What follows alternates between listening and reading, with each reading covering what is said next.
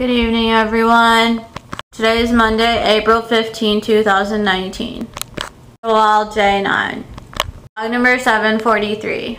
So right now I'm just editing and uploading the vlog from yesterday. So by the time you're watching this video, yesterday's vlog should already be up. Please be sure to go check it out. Don't forget to like, share, comment, and subscribe. I gotta do my laundry.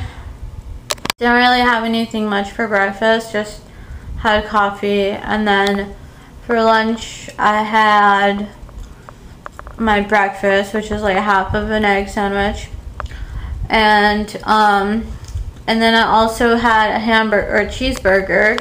And then I had like two fajitas, beef and chicken with nachos and queso, white queso.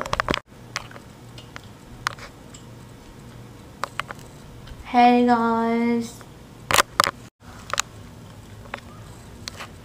I made um these this is meatball meatballs and eggs.